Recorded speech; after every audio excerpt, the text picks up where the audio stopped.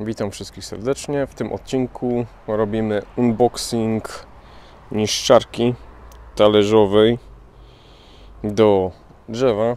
Jak widać troszeczkę mi się nazbierało tego. Co będziemy robić?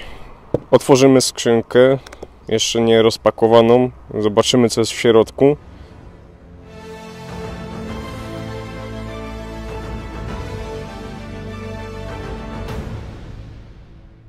Zrobimy test. Mam tutaj wiaderko, żeby pozbierać materiał. No i zobaczymy, ile faktycznie będzie poboru prądu.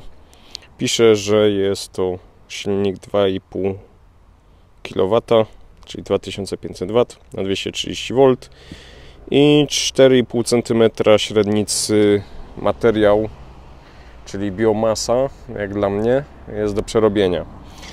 Podkreślam, odcinek niesponsorowany, sam sobie to kupiłem w styczniu. Mamy już kwiecień, więc troszeczkę czasu minęło, ale lecimy z tematem.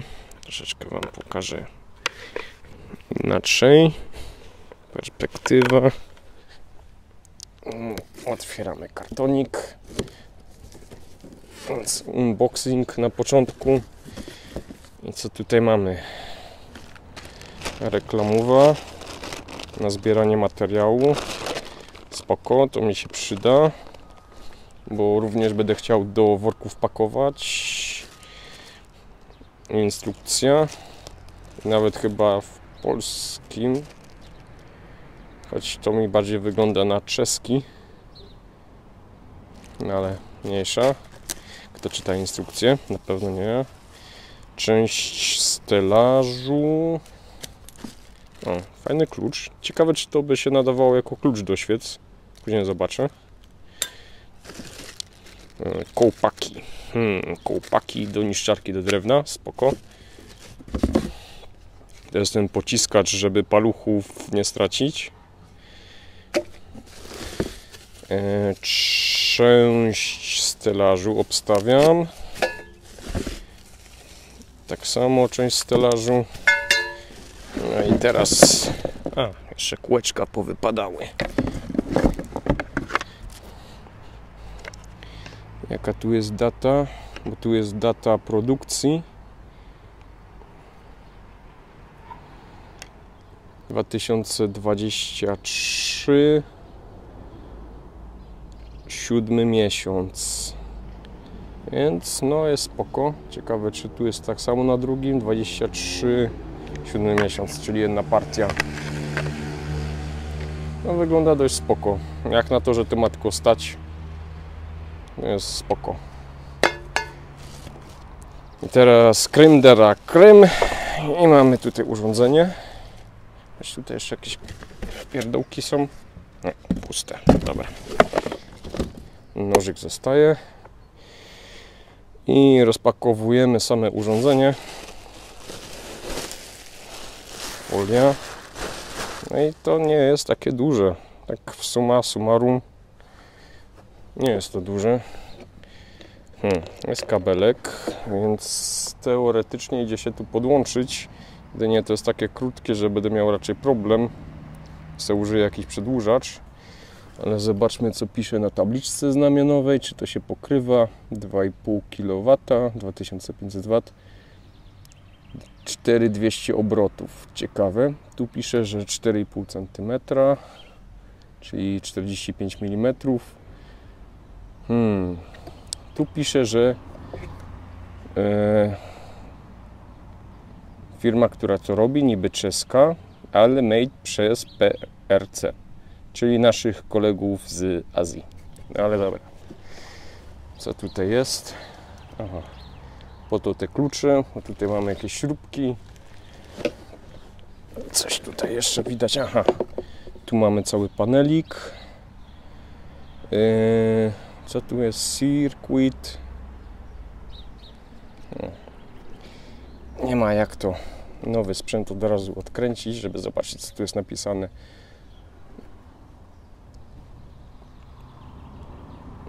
Circuit Breaker możliwe press to hmm. nie wiem co tu reset prawdopodobnie on-off, czyli nie ma opcji wróć. Niestabilizowany przycisk, czyli gdzieś tam będzie w środku przekaźniczek. Co to jest? Nie mam pojęcia. Zobaczymy w trakcie. Możliwe, że do otwierania. I jakaś guma, żeby tutaj nic nie wsadzić. 4,5 centa. Hmm, 4,5 centa. To jest drewno z orzecha. Ok. Stara zasada, jak nie idzie w jedną stronę, to w drugą. Spróbujemy, czy to wyjdzie. No, nie wejdzie. Czyli to będzie trzeba jeszcze manualnie zdziabać, ale to zaraz. Sprawdzamy dalej. Co tu jeszcze na tym pisze? Poczytać instrukcję. No oczywiście, że trzeba, ale no dobra, zostawmy bez komentarza. Yy, zachować odstęp, wirujące elementy, nosić okulary i słuchawki. Stop, start. Odzież ochronna, czyli prawdopodobnie buty. Nie robić w deszczu. Urządzenie elektryczne, uwaga, no i głośność. Aha, i tu jeszcze jest coś. Back holder on both sides. A, czyli to jest ten back holder. Ja sobie moje worki będę używał, ale zobaczmy od tej strony jak to wygląda. Hmm, za dużo nie widać w środku, więc to oznacza, że po jakichś tak dłuższych próbach eksploatacyjnych będzie trzeba to rozkopać i zobaczyć co jest w środku. No ale był to zakup najtańszej opcji, więc co? Zaczynamy to składać. Aha, tutaj mamy wentylator silnika. Dość ciekawie jest zbudowany. Dużo jest lamelek. Więc możliwe, że to musi dość dobrze to chłodzić, bo silnik się będzie grzał. Zobaczymy jak to będzie z tego dmuchać. Mam poskładany całą, całą niszczarkę. Film ze składania będzie na końcu filmu, bo jednak źle to poskładałem. Wystarczyło popatrzeć na zdjęcie i te nogi mają być na zewnątrz, a nie do środka. Więc taki błąd gruby, tak się to mówi, czyli ze złego założenia się wyszło. Ok, mamy zasilanie. Mam taką listwę. Niby powinna dać radę. Nie mam nic krótszego o sensownej mocy. Więc spróbujemy to podłączyć pierwszy raz. I sobie podłączymy do najbliższego. Niby listwa jest na 3200 W. Więc powinno dać radę. No i pierwszy rozruch. Zobaczymy co się będzie działo.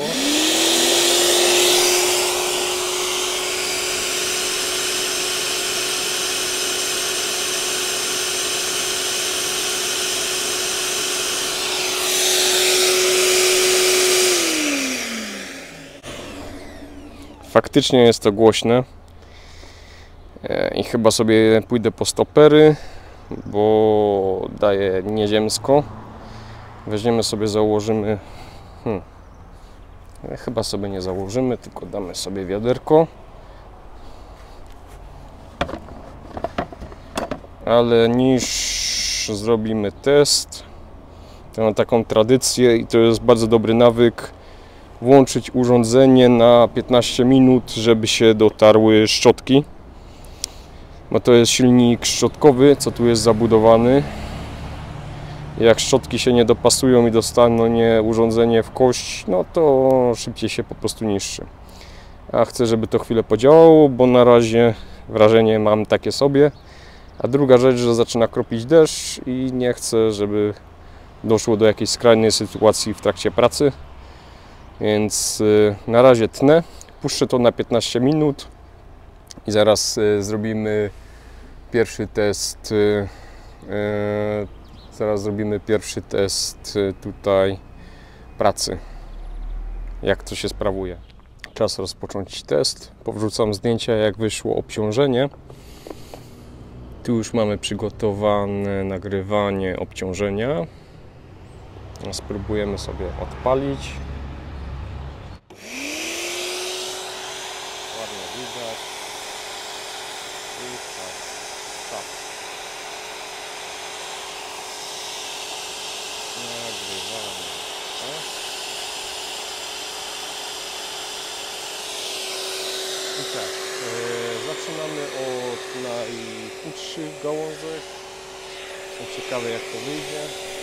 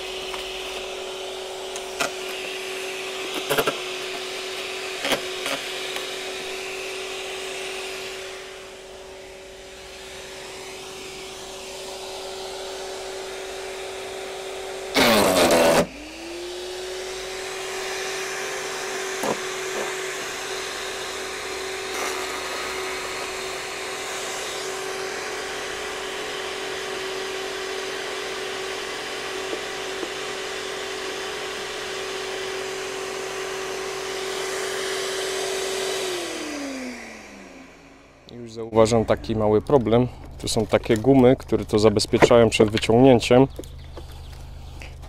I teraz ciężko coś wyciągnąć. Działa. Także te gumy trzymają. Tutaj jest tego za dużo.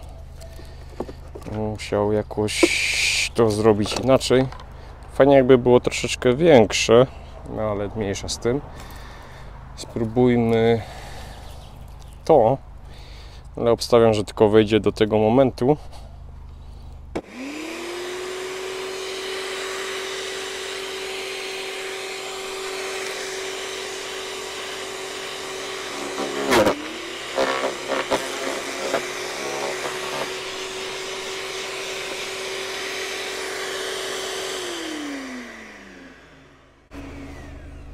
Niestety tego nie jestem w stanie wsadzić.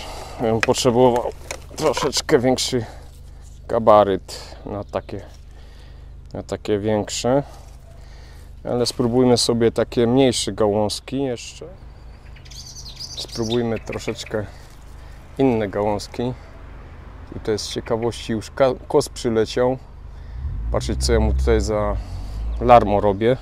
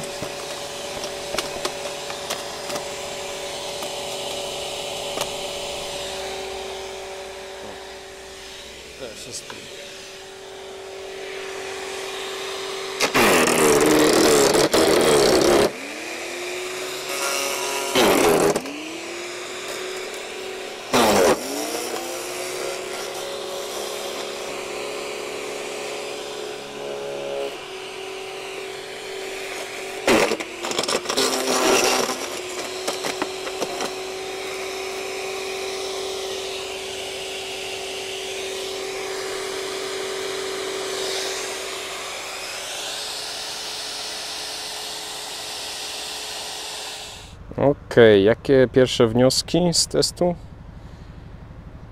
Tu sobie wyłączymy nagrywanie. Pierwsze wnioski z testu takie są, że urządzenie jest dość dzikie. Nazwijmy to tak, jak dostanie coś do mielenia, to idzie o żywot. Frez był ustawiony na minimum. Myślę, że naprawdę jest spoko. Znaczy nie frez, tylko tarczowy. Bo frezowy miałem tutaj testowany. To co, od czego to się cała historia zaczęła. I ten frezowy tak to robił. Też dla mnie jest spoko. I chyba będzie trzeba jeszcze taki frezowy właśnie na te grubsze rzeczy. Ten otwór nie pozwala na większe rzeczy. Tak jak na przykład to. Albo to. Też to troszeczkę nadgryzło. Więc spoko. To też podgryzło troszeczkę. Dość fajne, proste cięcie. Bez szarpnięć, no ale to jeszcze jest nowe. Zobaczymy jak to się zachowa po tej całej stercie. A jest co przerabiać. Więc jak to będzie przerobione i będą zapytania, to zrobimy rozbiórkę tego. A na ten moment dziękuję. Jak się komuś to podobało, to może zostawić lajka, subskrypcję, polubienie, komuś podesłać filmik, jak się komuś by przydało. Oraz idzie wspierać kanał w opisie. Jest kilka możliwości wsparcia kanału. I też dziękuję imiennym i bezimiennym chcącym zostać anonimowymi sponsorami kanału e, osobami, które można powiedzieć, że są e, sponsorami, bo dłuższy czas wspierają moją działalność bezinteresownie więc y, z całego serca dziękuję. Okay, zaczynamy składanie. I obstawiam, że to musi przyjść tak, bo to musi stać. Śrubki w paluszkach idzie odkręcić. Dość spoko to wchodzi, pasuje nawet. Wintu za dużo nie zostaje ale o, czego się spodziewać druga nóżka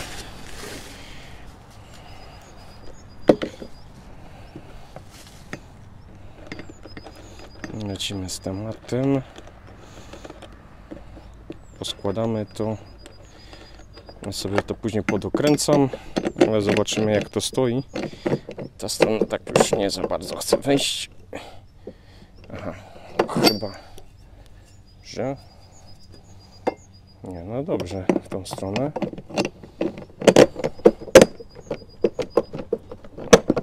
No, tutaj widać, że albo otwory są nie tak, albo szpilki są nie tak.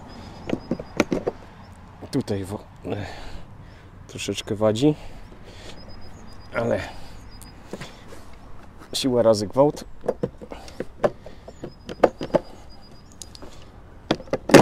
Ok, jak jedna strona wskoczyła, łapiemy sobie nakrętką, zrobimy dźwignię sobie i poszło. Jak widać, no tutaj trochę im uciekło. Tu jest duża dziura, a tutaj jest mniejsza. No ale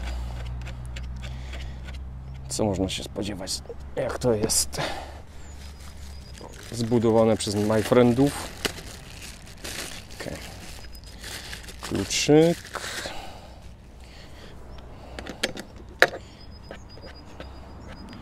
Spróbujemy to lekko dokręcić. Złapie za tą wkładkę teflonową.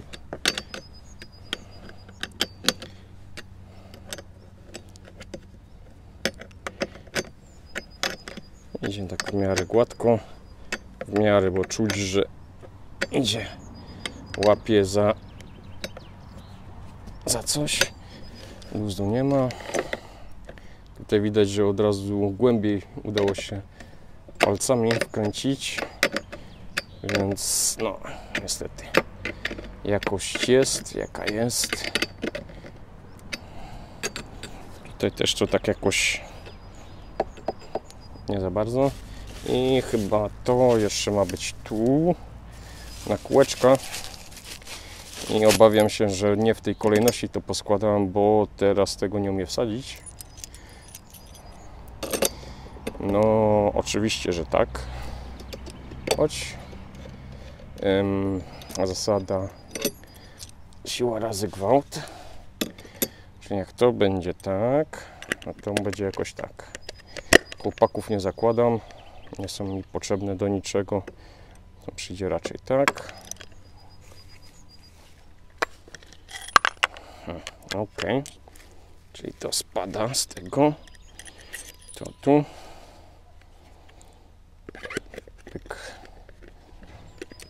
Mam tu jedną nakrętkę, drugą nakrętkę. I teraz mogłem sobie to zostawić przynajmniej jedną stronę niedokręconą, ale kto tam czyta instrukcję? Coś jest nie tak. Muszę sobie zobaczyć, jakby to musiało być. Bo chyba wychodzi, że jednak kółeczka będą z zewnątrz, nie wewnątrz. Teraz muszę sobie to odłożyć.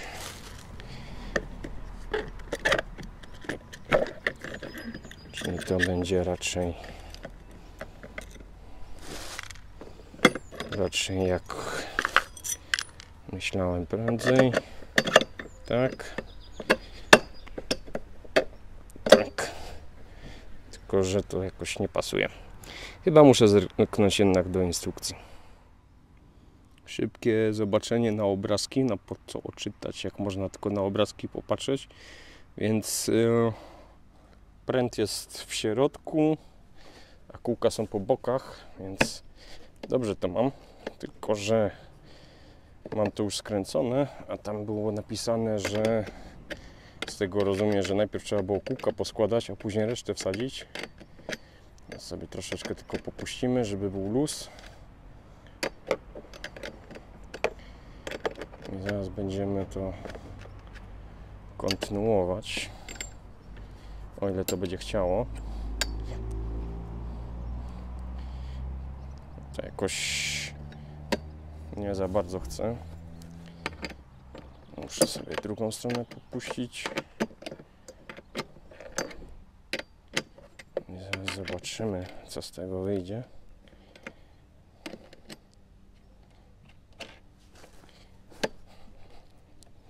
No, nie jest to jakieś tam mega zajebiście idealne, spasowane. No, jeszcze trzeba sobie popuścić nakrętki, troszkę szarpnąć. Dobra, poskładam to poza kamerą i lecimy zaraz dalej. Do zobaczenia. Przepraszam. Do zobaczenia, cześć.